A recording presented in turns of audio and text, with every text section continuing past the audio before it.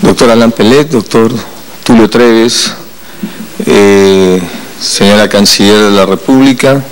eh, señores embajadores presentes, eh, queridos compatriotas, este es un reconocimiento justo al trabajo tan importante que han desarrollado todo un equipo combinado de juristas, diplomáticos, cartógrafos, funcionarios en general,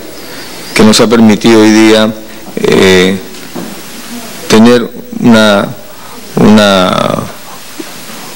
una, reivindicación a nuestra historia. Eh, qué mejor para un viejo soldado como el que habla haber eh, tenido el honor de ejecutar un fallo, una recuperación de de una parte de nuestra patria eh, a través de una, gran batalla jurídica que se ha venido dando. Eh, recojo también el punto de vista de nuestro amigo Alain Pelet sobre la importancia del punto concordia, hemos tomado nota de este tema, eh, y además reconocer en, esta, en esta condecoración creada por el Libertador San Martín para aquellas personalidades que hagan algún acto meritorio en favor de la patria, reconocer ustedes este trabajo meritorio, este esfuerzo que permitió a los peruanos eh, tener un motivo más para unirnos. Hoy día, gracias al trabajo que han realizado todo este equipo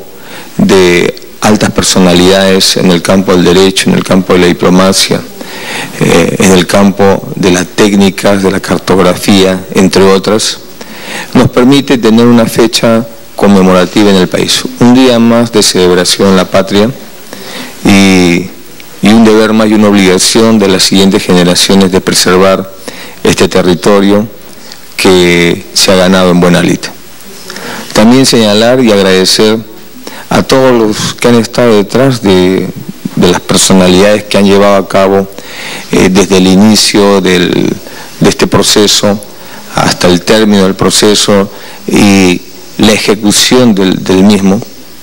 que nos permitieron ejecutarlo también en un tiempo, eh, tal vez sea eh, poco humilde decirlo, en, tiempo récord, pero creo que es la verdad, porque según nos contaban, eh, los fallos, el cumplimiento de fallos más longevos de esta Corte de la Haya han, sido superiores a los, han pasado los 40 años y los fallos, la ejecución de fallos más cortos me parece que era cuatro años aproximadamente. Este lo hemos cumplido en 24 horas. Y eso es importante. Y, también es importante señalar de que esto ha sido eh, acatado tanto por Chile como el Perú. Y esto hoy día nos abre una agenda de oportunidades post-AYA en, la, el fortalecimiento de las relaciones peruano-chilenas. Eh, quiero, eh, personalmente quería hacer este acto